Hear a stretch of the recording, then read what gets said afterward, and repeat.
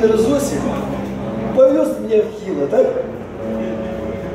А я только приехал, и после Орегона вот это вот, в Коне было тепло, и тут прошло несколько дней, он раз меня в Хило, а там дождь идет.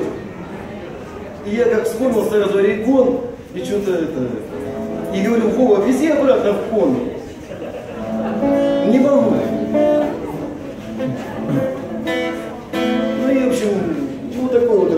Голове. Попал я в город Хила, меня дождем залило. Я сразу вспомнил Орегон и Вашингтон.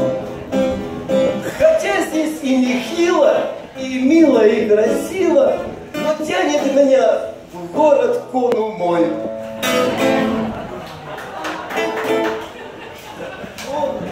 А про Кону я там, я напишу, в общем, об, этих.